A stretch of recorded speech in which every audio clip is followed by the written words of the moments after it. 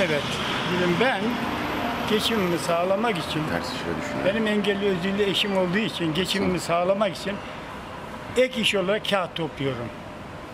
Ve iki saatte bir gidip eşimin ihtiyaçlarını karşılıyordum. İlaçlarını, yemeğini, çayını, suyunu neyse ihtiyaçlarını karşılıyorum. Benim eşimin yüzde 89 engelli. Eşim benim şekerden gözleri kör oldu ve kronik hastalığı var.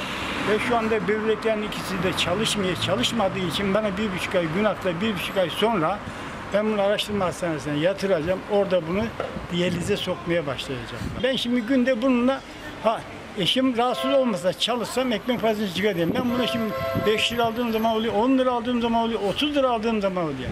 Ama 40 liranın üzerine kolay kolay çıkmıyor. Kağıt mı topluyorsunuz? Tabii kağıt topluyorum. Bu madeni eşyalar onlar pahalı olduğu için bunlara pek bana denk gelmiyor. Ben gündüz çıktığım için bu işi 14 yıldır yapıyorum. Çok zor bilmem.